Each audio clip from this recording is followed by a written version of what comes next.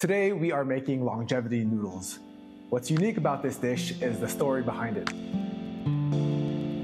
Legend has it is that Emperor Wu of the Han Dynasty told his ministers that if you have a long face, you'll have a long life. Because Emperor Wu did not have a long face, he said that you can have noodles instead because in Mandarin, noodles and face sound very much alike. So if you eat long noodles, you'll have a long life.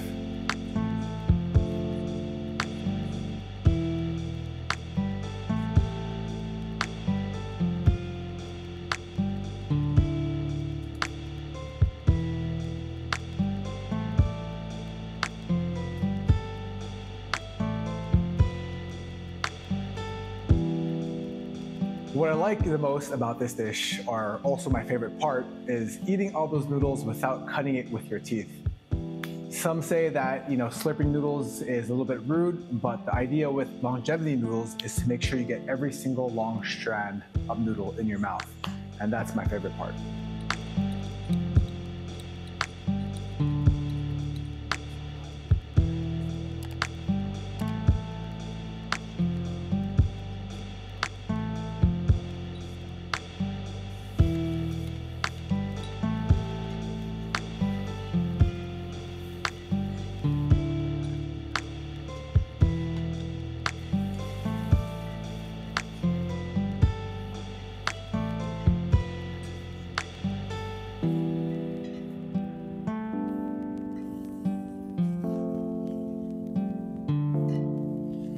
My favorite part when making this dish is tossing those noodles in that sauce.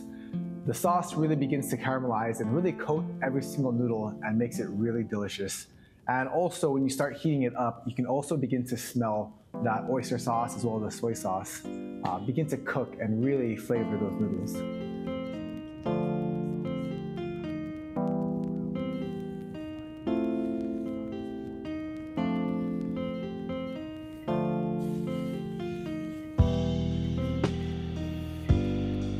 Some challenges that some people might have when making this dish is maybe making sure that those noodles aren't cooked too much. So since we are boiling those noodles, we want to make sure that we don't cook it too much because we are going to be sauteing it in some oil.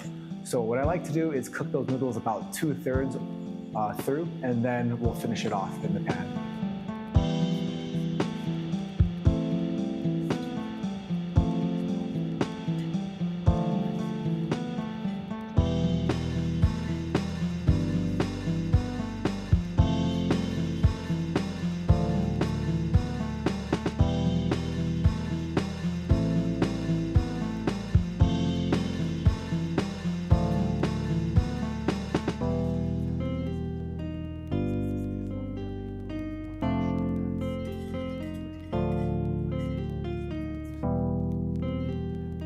Another challenge that one might face when making longevity noodles is hydrating those mushrooms.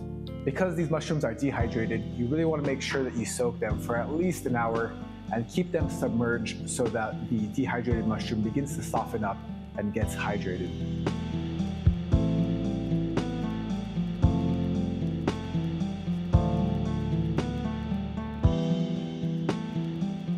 And that's longevity noodles. We hope you enjoy it.